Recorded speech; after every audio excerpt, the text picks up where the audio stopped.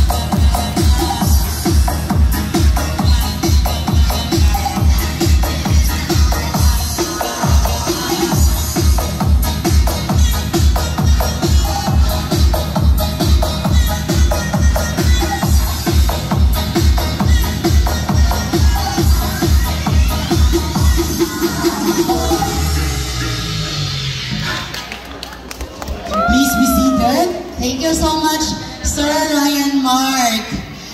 Okay, kahit pa paano,